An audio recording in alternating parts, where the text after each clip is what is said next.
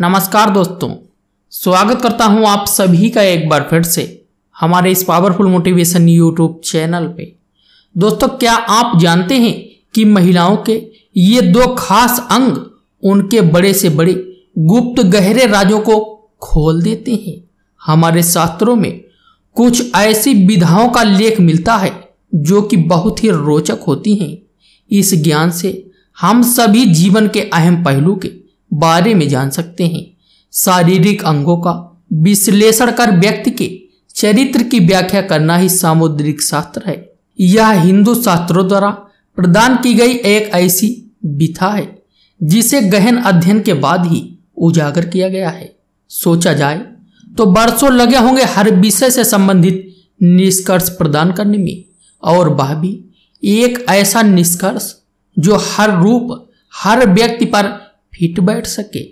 अधिकतर लोगों का मानना है कि इस दुनिया में महिलाओं को समझ पाना एक टेहड़ी खीर के समान है। इस संबंध में कुछ पुराने लोगों की एक कहावत प्रचलित है, जिसमें कहा गया है कि महिलाओं का स्वभाव स्वयं भगवान भी नहीं समझ सकता। तो हम कैसे समझेंगे? पर आज हम जिस जानकारी से आपको अवगत कराने वाले हैं, उससे आप महिलाओं के स्वभाव के संबंध में जान सकते हैं। आपको बता दें, महिलाओं को समझने के लिए अधिक दिमाग लगाने की आवश्यकता नहीं होती। उसके सारे राज स्वयं उसके शरीर के ये दो अंग खोल देते हैं। अगर आप भी अपनी किसी महिला मित्र के संबंधों में कुछ जानना चाहते हैं तो बस उसके शरीर के इन दो हिस्सों पर एक नज़र डाल लीजिए, जो कुछ इस प्रकार से बताया गया है। लेकिन दोस्तों, सबसे पहले कृपया आप इस वीडियो को लाइक कर दीजिए क्योंकि बाद में आप वीडियो की भावनाओं में खो जाते हैं और वीडियो को लाइक करना भूल जाते हैं। और यदि आप रोज़ाना इसी प्रकार के नॉलेजेबल वीडियो देखना चाहते हैं तो हमारे चैनल को फ्री में सब्सक्राइब करके बेल आइकन को प्रेस कीजिए। अब चलिए दोस्तों, सामुद्रिक शास्त्र और चाणक्य नीति के अनुसार बताते हैं महिलाओं के, उन खास अंगों के बारे में। दोस्तों, नंबर एक है महिलाओं के होंठ। महिलाओं के चेहरे का सबसे आकर्षण अंग होता है उनके होंठ, किसी भी महिला के। होंठ देखकर आप उसके स्वभाव और व्यक्तित्व के संबंध में ज्ञात कर सकते हैं। लाल पतले चिकने और अच्छी से वाले होठों की महिलाएँ अपने स्वभाव से बेहद सेक्सी और अपने पति का प्यार पाने वाली होती हैं। ऐसी महिलाओं की शादीशुदा लाइफ काफ़ी अच्छी होती है।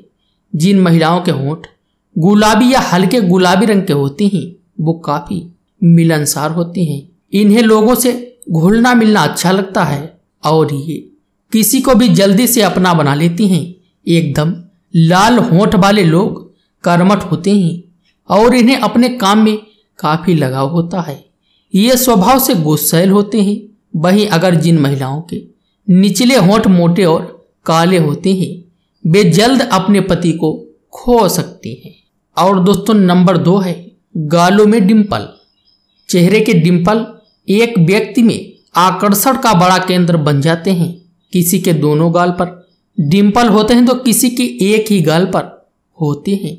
लेकिन एक हो या दोनों गालों पर ये बहुत सुंदर लगते हैं। ऐसी महिलाएँ जिनकी गालों में डिम्पल हो, वो नेचर से काफ़ी खुश मिजाज और वफादार मानी जाती हैं। ऐसी महिलाएँ स्वभाव से काफ़ी दयालु भी होती हैं। साथ ही जिन महिलाओं के गालों में डिम्पल होते हैं उन्हें काफ़ी भाग्यवान माना जाता है। विष्णु पुराण के अनुसार, हँसते समय जिस महिला की गालों में गड्ढे पड़ते हैं, उसका वैवाहिक जीवन सुखमय होता है। पति पत्नी के बीच बेहतर संबंध भी बने रहते हैं। लेकिन ससुराल से जुड़े एक मामले में डिम्पल अच्छा नहीं माना जाता, क्योंकि पुराणों के अनुसार जिस लड़की के गालों पर डिम्पल पड़ता है, वह सास के सुख से वंचित रहती है। या तो उसकी सास नहीं होती है, या फिर अगर सास हो भी तो उसका सुख बहुत दिनों तक नहीं मिलता है। ऐसी लड़कियों में काम भाव बहुत अधिक होता है। ऐसी लड़कियाँ काफ़ी शौकीन होती हैं और इनके प्रेम संबंध भी कई लोगों से बनते रहते हैं।